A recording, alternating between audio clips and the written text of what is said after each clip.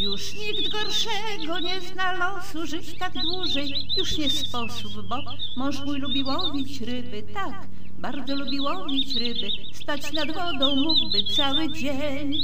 Dla niego wędka albo haczyk znacznie więcej niż ja znaczy. Świat byłby taki piękny, gdyby, cóż, właśnie gdyby nie te ryby.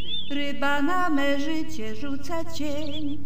Ale w tym największe zło, że troszeczkę kocham go, więc mam już plan, swe sieci wpadnie sam. Ani słówka mu nie powiem, ale sama wskoczę w głębin fale. Ach, to by było wyśmienicie. Ech, gdyby mnie na wędkę schwycił, z trudem by wyciągnął mnie na brzeg. Ładna sztuka, pierwszy raz by o mnie rzekł.